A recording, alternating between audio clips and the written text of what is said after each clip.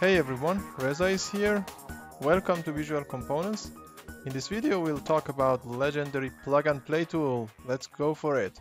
So plug and play is this icon over here, PNP, under manipulation group. In case that is chosen and you choose a component from eCat, in this case I'm choosing this conveyor guy, we can start to rotate it as you can see. Also you can locate it using this circle over here. And for a sec you saw a green arrow up here.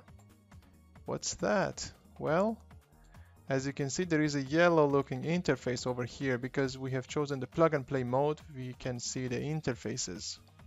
So what happens with this interface when there is a familiar component nearby you'll see a green arrow showing up. It means that hey we know each other we can connect so these two interfaces are now connected you see when I click on both conveyors, you can see the interface color being green. Of course, these are two interfaces. So one is there, the other one is here, and they are attached. But well, let's take it out and test something. What if I connect the other side?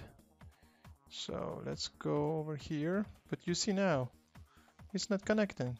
Why? The reason is that the direction of this interface is output and here is an input. So these are one-way interfaces so you cannot connect them. You should connect the right one. So that's why I will rotate it a bit and then connect it.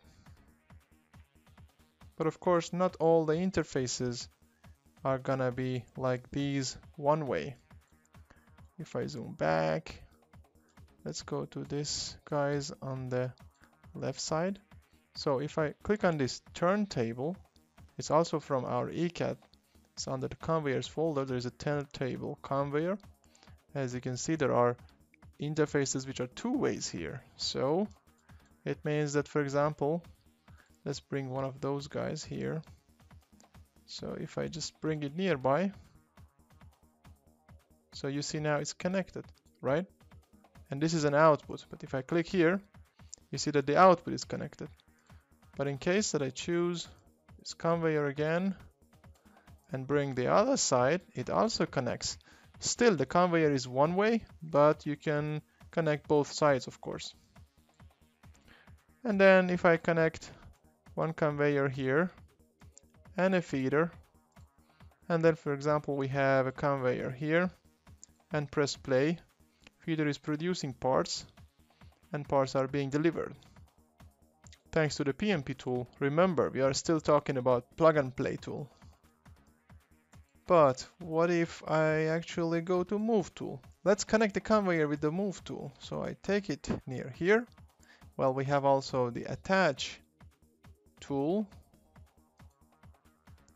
Then I can attach this conveyor to the turntable and then press play. Let's see what happens. Well, nothing happens. Why? Because they are not connected for good.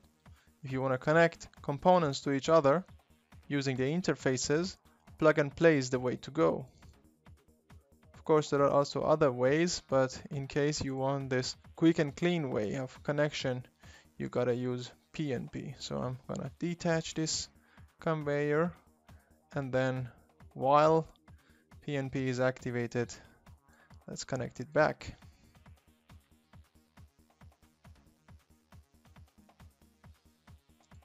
What else do we have? So to connect robot and controllers and also positioners, we can use the PNP tool. So for example, here, there is a controller and the robot can get attached on it, as you can see. So now controller is like the parent and robot is the child. So if I move the parent, the child moves with it. But if I choose the child, parent doesn't follow. Bad parent. oh no, I mean, that's the hierarchy, right? Here we want to have, for example, robot to go on the positioner. And if you want this positioner to be controlled by our robot controller, the whole thing should go on the robot controller. So like now, as you can see, robot controller is the parent to everyone. And then also this robot tool, it looks hilarious. I like this one. uh, the robot tool also is connected to all. So if I connect the controller, you see everything starts moving around. But if I take the robot away, and then let's take the positioner away, and if robot is there, it's not really that way that you connect. As you can see, nothing works. You cannot really connect controller on the positioner because the hierarchy says first controller, then positioner, and then the robot which is installed on a positioner. One more thing, or let's say one last thing before I finish the tutorial is about the orthographic mode and plug and play tool. You know, you can show the 3D projection in perspective or orthographic. Orthographic is used mainly for modeling components or, for example, creating drawings. But look here, now I have PNP tool chosen. I'm trying to connect the tool to the robot and nothing happens. Why is that? Because I have the orthographic mode activated so I don't see the depth. Let's deactivate it. So now you can see actually that the component is somewhere far back there. So then it might be a little bit confusing that why it's not connecting to the robot. So while you're using plug and play tool, watch out for the orthographic mode and the depth of the 3D world. Okay, that's what I wanted to show you about PNP. Go and try it, enjoy, and see ya!